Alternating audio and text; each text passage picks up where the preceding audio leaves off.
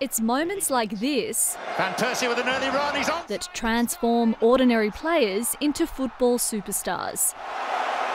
But using your head isn't going to be an option for some youngsters. The US Soccer Federation has banned the practice for those 10 years and under, following a proposed class action lawsuit and concerns about brain development and concussions. If you focus on the head, it's not greatly safer in terms of concussion than football. The changes only affect those in national teams and academies, but could soon spread to all football programs. For some players, heading the ball into the net is a major goal. Some coaches here in Australia are teaching players how to do it safely from a young age. Move your head forward like that, okay, with that part of the head.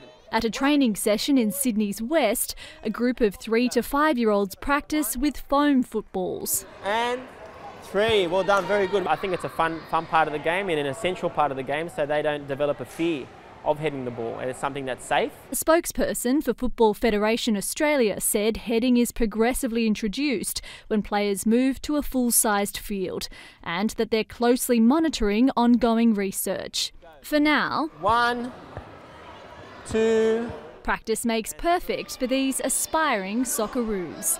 Hannah Sinclair, SBS World News.